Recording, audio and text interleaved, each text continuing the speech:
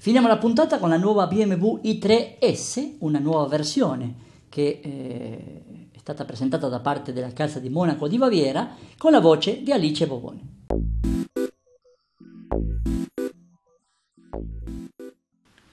La BMW i3 stabilisce standard in tutto il mondo per il piacere di guida in un veicolo puramente elettrico. I fattori chiave qui non sono solo l'aumento della potenza del motore della nuova BMW i3S, ma anche l'innovativo sistema di controllo della trazione adatto specificatamente alla potenza istantanea del sistema BMW e Drive. La nuova BMW i3 si presenta con una coppia di 270 Nm a 0 giri al minuto, una potenza di 135 kW, consumo di energia combinato nel ciclo di prova europeo NEFZ di 14,3 kWh per 100 km ed ovviamente emissioni di CO2 nel ciclo combinato di 0 grammi al chilometro.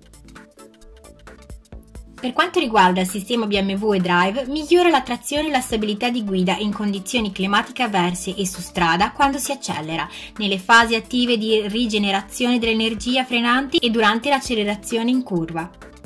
Il fulcro di questa innovazione è il sistema di controllo elettrico 50 volte più rapido, reso possibile dal fatto che, a differenza dei sistemi di stabilità di guida convenzionali, il processo di controllo viene ora calcolato direttamente nel gruppo propulsore, anziché in unità remota che richiede lunghi percorsi di segnale. Questo sviluppo fornisce ulteriori prove di BMW i come pioniere della tecnologia innovativa all'interno del BMW Group. Con i loro elevati livelli di coppia e le risposte istantanee a ogni movimento dell'acceleratore, i motori elettrici già richiedono requisiti significativamente più elevati per i sistemi di stabilità di guida rispetto ai convenzionali gruppi elettrogeni. Spiega Peter Lagen, responsabile dello sviluppo del telaio della BMW. Ecco perché gli ingegneri BMW hanno sviluppato un nuovo tipo di sistema orientato alle esigenze della mobilità elettrica. L'impatto positivo di questi cicli di controllo più brevi non è riservato alle auto puramente elettriche. Infatti, questo innovativo sistema di controllo della trazione ottimizza anche la trazione, la stabilità di guida e la dinamica di guida nei veicoli con motore a combustione.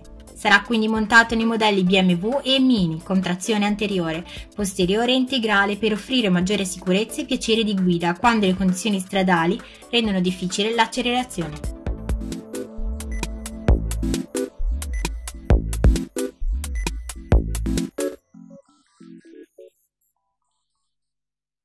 Così finiamo questa quinta puntata del 2018 di Electric Motor News. Noi vi diamo appuntamento la settimana prossima, sempre in questa rete a questo orario, però non dagli studi, ma bensì da Città del Messico, perché insieme a eh, Daniele Drago abbiamo le valigie pronte per partire alla capitale azteca per presenziare una nuova gara del campionato di Formula E. Questo è tutto per il momento, noi vi ringraziamo e vi diamo appuntamento appunto la settimana prossima, sempre in questa rete a questo orario. Grazie, arrivederci.